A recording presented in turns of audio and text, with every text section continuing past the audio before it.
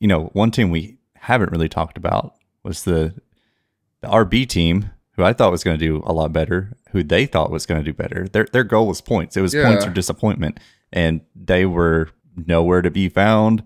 Yeah, they just weren't a factor like they were in practice. They they seemed very fast, even in testing they seemed very fast. Qualifying they got into Q2 both cars, so it seemed like okay, that's a little disappointing and then they just faltered in the race and I think they have a lot to improve on. And then Yuki tried to tried to run into Ricciardo at the end even though that's not really Ricciardo's fault that they had to do driver swap. Ricciardo was on softs. I mean, he had the better tire at the time. So Ricciardo wasn't going to get into the points unless something crazy happened. But Ricciardo called it in the post race interview. He pretty much called Yuki, he word for word said it's it's immaturity. And I I agree with him. Now that's going to be interesting how that team dynamic plays out. But yeah, I thought Yuki was getting older and a little bit better. He seemed a lot better last year. You know, now he's started to pitch a fit about swapping spots on the out lap at the end of the race or the cool down lap at the end of the race. He tried to run into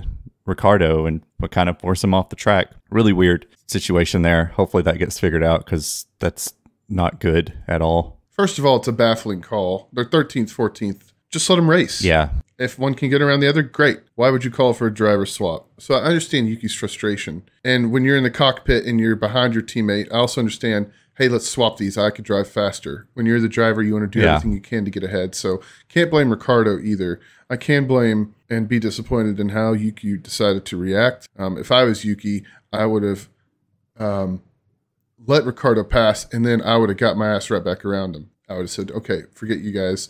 Uh, the, the, like, for, if you're in 13th, 14th, you're not getting into the points. No. Just let them race if they want to race. Like, as long as they keep it clean. yeah, That's what I do love about Ferrari. Those Ferraris, they freaking race yeah. That all was, the time. nerve wracking. Yeah.